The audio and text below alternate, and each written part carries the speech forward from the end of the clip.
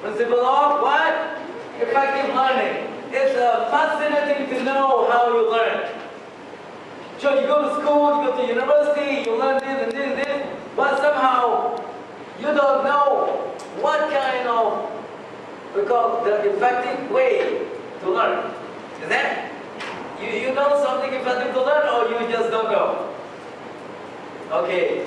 Now, the, the very principle of effective learning very, is very important to say that uh, you must find something effective for you to learn. The very first thing is called what?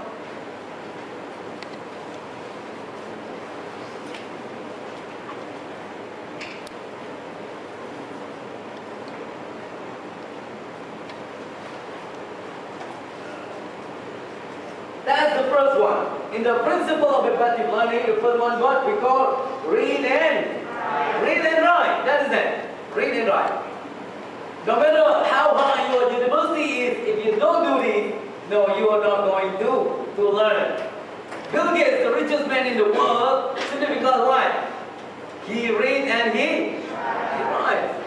He reads and he writes. So, this is the answer. If you read only, you learn or not? If you read only, you learn or not? No, you don't learn. Simply because maybe today you still remember, tomorrow you remember, the, day, the third day remember, but the fourth day maybe you, you might, you might forget. So maybe you forget, you don't learn. But when you write something, you write that you learn or not?